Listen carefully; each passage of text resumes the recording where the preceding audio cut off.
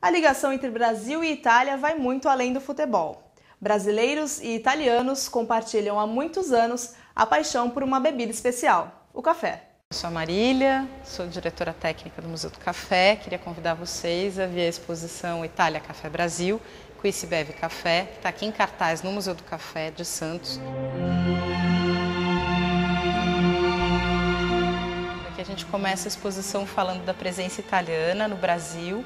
Então a gente fala desde a chegada dos imigrantes para a questão que vieram principalmente por causa do café é, e que vieram trabalhar, grande parte dele nas plantações. É, de café.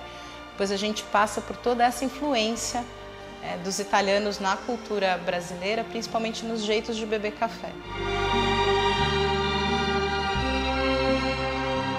Que a gente tem toda essa trajetória do jeito de beber café do Brasil e a influência italiana nessa trajetória. Então o café já era a bebida do trabalho, com os italianos que vieram trabalhar na lavoura isso se acentuou então você tem desde a da garrafa de vidro, onde se levava o café frio com rolha, até uma porcelana fina da família Matarazzo e outros jeitos de beber café no Brasil até hoje. E em alguns momentos a influência italiana como um dos destaques. Dizer, o Brasil exporta café verde para a Itália, mas a Itália torra o café e revende para o mundo inteiro. Então aqui a gente explica um pouco de todas as etapas do café, como é que o café vai de uma cerejinha fresca até um grão torrado que a gente moe e que a gente tira e prepara. Aqui a gente fala um pouquinho disso, é, dessas etapas, para entender como é que vai da planta à xícara e especialmente a especialidade italiana mesmo na torra. Então a gente tem aqui uma máquina de torra é, que mostra um pouco, e a gente tem um vídeo que fala uma legenda que mostra direitinho como é que é esse processo. E daqui a gente passa depois para outra especialidade italiana, que é o preparo mesmo do café.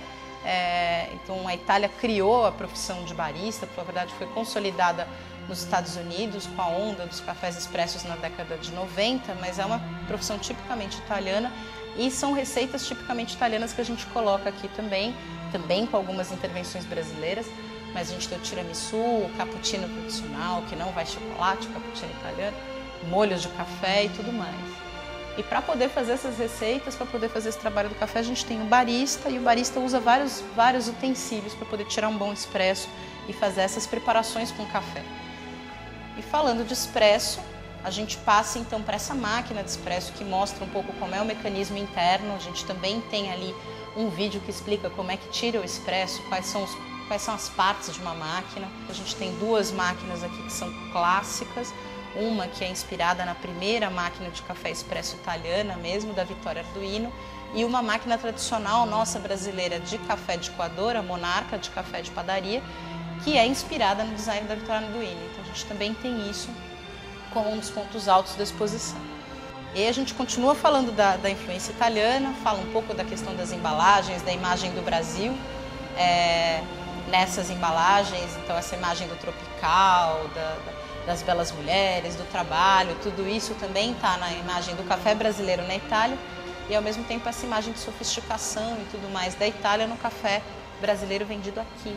Então aqui a gente também acaba essa exposição falando dessa relação hoje, convidando as pessoas a conhecerem um pouco mais é, desse universo aqui do Brasil e da Itália pelo café, que é a especialidade do Museu do Café. Então estão todos convidados.